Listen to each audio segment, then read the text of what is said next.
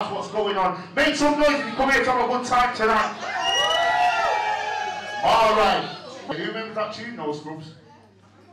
Remember the tune, No Scrubs? I don't want no... Yo, run the tune for me, Bridget. Listen. Yeah? Yeah? Lock it, lock it, lock it, lock it off.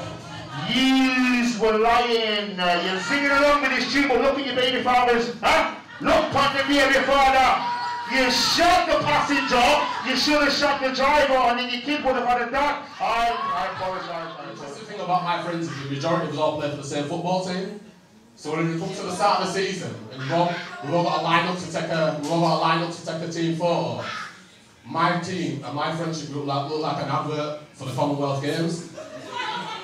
Which is funny in itself, do you know what I mean? But now it's a bit of a personal and inside joke whenever it comes to the team photo. We all line up. We started lining up in shared order. Which is funny to look at by itself, but it's also very handy. If you ever find yourself back in the middle of B&Q, and then run out of colour charts, you can pull up our photo and be like, I'll take two tins of this uh, Jamaican on the empty, that's. I was thinking about this the other day, like I'm left wing. Like the left wing bit in me is like as fucking convinced of my own principles, right?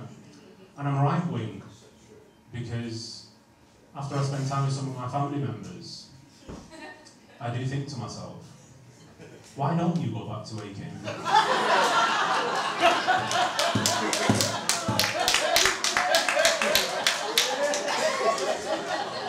And women have this trick, right? I've noticed you women, you got this trick.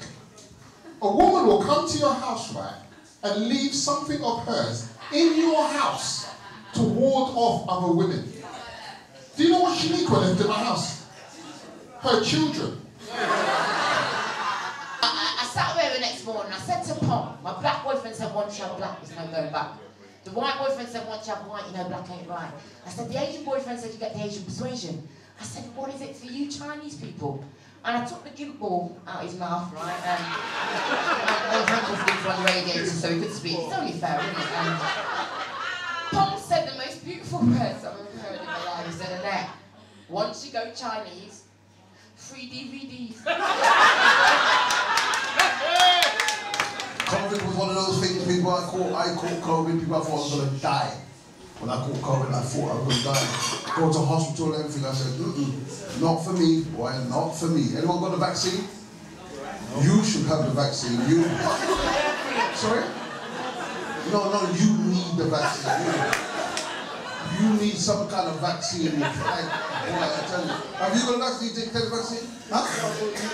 You've had what, sorry? You've had none? Did you ever have um, Botox?